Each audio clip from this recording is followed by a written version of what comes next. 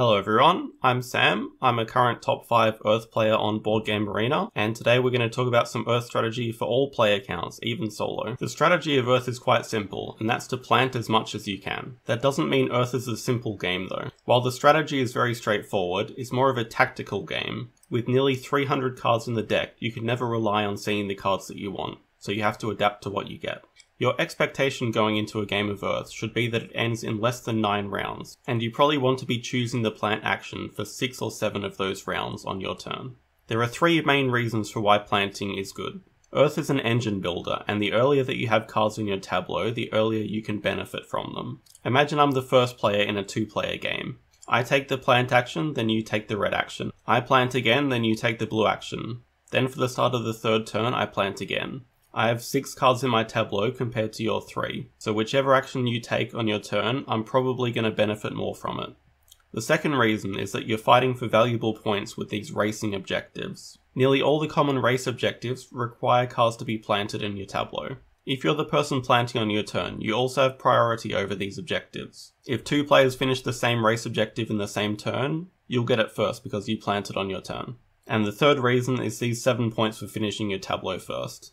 At the end of the game, you're probably going to score somewhere between 150 to 250 points, so 7 points might not seem like a big deal, but it is. You're getting 7 points for free for doing nothing, and by finishing your tableau first, you ensure that you get points from all 16 of your cards, as well as the maximum opportunity to score from the ecosystems. The key to planting as often as possible starts with your island card. You want a good island card that gives you as many cards and soil as possible. Generally, the lower amount of victory points that an island card gives, the better it's going to be. 6 cards and 6 soil is a great amount to start with.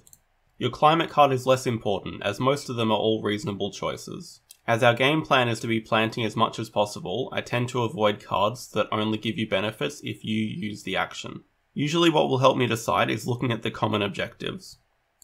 In this case we want cards that have 4 or more victory points, as well as rocky habitats. This climate card fits both those categories. For your personal ecosystem card, you ideally want to pick something that will synergize with the common objectives, but that's not always possible. If it's not possible, just try to pick something that won't clash with them. Out of these, playing cards with a low soil cost is just universally good, but we could also look at the cold habitats as we're already starting with two on our island. When you're choosing which cards to keep, you want to keep cards that have a low soil cost, as this will allow you to continue planting. You'll also want to continuously look at the objectives and keep cards which fit the criteria.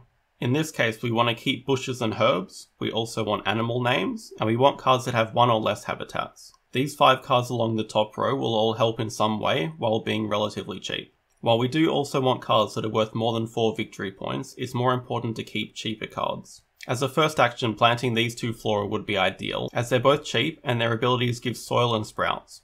After you've planted and you're choosing which card to keep, I generally avoid event cards. Event cards are often a way of getting a few more points, but you want things that can go on your tableau.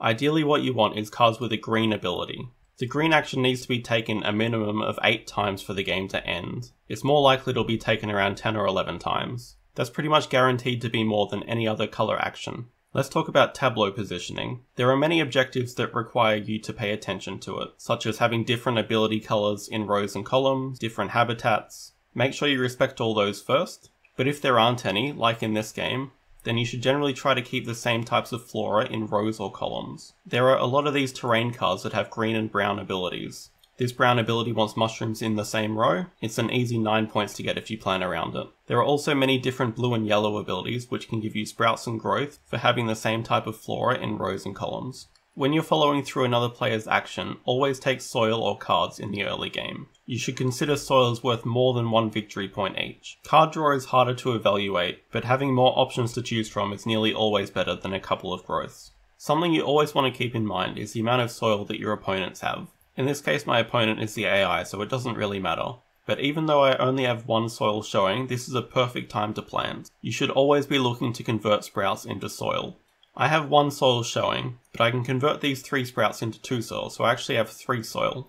If I play the giant bearded fig, I can also convert a growth into soil. And after I plant, I will get a soil with this green action. So the main thing is that I have the two soil required to plant these two cards. But then if my opponent chooses to plant after me, I will still have two soil left to plant the rubber tree as well. Now it's very unlikely that you'll be able to plant every single turn. When you do need to take another action, take the one that benefits you the most but also benefits your opponents the least. That's pretty straightforward. The red and blue action are both equally good ways of getting soil. Composting gives you 5 soil straight, but watering gives you the equivalent of 6 soil if you convert these sprouts into soil. Growing can also be another way to enable you to plant more, as you may be able to draw cheaper cards that cost less soil.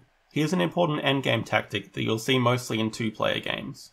I'm the first player and my tableau has 15 out of the 16 cards in it, while my opponent only has 12 cards. What I don't want to be doing on my turn now is planting. Planting for me is only half an action, as I'll only be able to plant one card. My opponent is then going to have a turn after me, and if they plant as well, it will be a completely wasted action for me. As I only need one card to finish my tableau, I'm already guaranteed to get the 7 bonus points for finishing first. What I want to do now is take any other action except for plant. This often works out in your favour anyway, as if you've been spending the majority of your actions planting, you'll probably have more space for sprouts and growths on your cards. It can create a bit of a stalemate with neither player wanting to plant. In case that happens, it's good to have a high point scoring card waiting for when they do eventually plant. If your opponent is closer in plants, like say they have 14, then it is a good idea to plant, because if they plant on their turn to get from 14 to 16, they will get the 7 point bonus for finishing their tableau first. So to sum up Earth's strategy, it's plant as often as you can, racing to finish the end of the game. Doing this while juggling all 7 different objectives is how you're going to win the game. But at the end of the day, a finished board is better than a perfect board. If you finish the game before your opponents are ready, even if you don't finish every objective, chances are that they won't either. And if you have 16 cards and they don't, then you've already denied them the chance to get full points from all rows and column objectives. Hopefully these tips have helped. If you have any questions, feel free to leave them in the comments. Thanks everyone for watching and good luck.